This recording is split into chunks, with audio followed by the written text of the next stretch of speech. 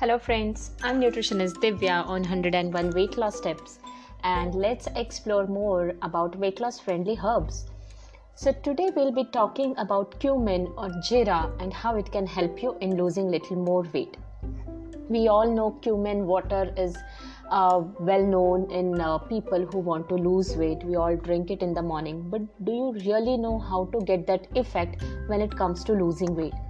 Basically, cumin helps you to improve your digestion. It increases digestive enzymes activity inside your gut, and that is how it helps you in reducing fat, belly fat.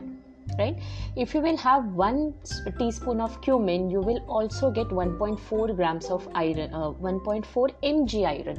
Right? So, this iron is again helpful for uh, healthy living cumin also helps you in reducing your cholesterol. If you have total cholesterol which is on higher side you can include cumin seed powders. It also helps in managing blood sugar levels or reduce inflammation and ultimately reduce fat deposition specifically on your abs or on your stomach.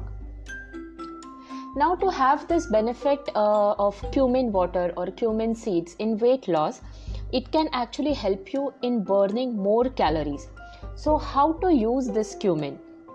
You can simply soak cumin seeds in the water for 5 to 6 hours and next day morning just boil that water and drink it up on empty stomach. Or you can also make cumin tea which you can have after your meals. Now, how to do that? 1 cup of water, 1 teaspoon of cumin seeds, boil it for 3 to 4 minutes and then have it after 15 minutes after your lunch and after your dinner you have to repeat this till 20 to 25 days to get a significant result. Even having cumin powder with curd is also beneficial in weight loss. Like you need to take 1 teaspoon of cumin powder and 1 teaspoon of curd. You can sprinkle pinch of salt and have it after your meals. So this is also going to help you in losing some weight. Now, I have shared so many tips with you. You are following those things, I know. Uh, so, exactly which thing is helping you? I'm really eager to listen, to hear from you all.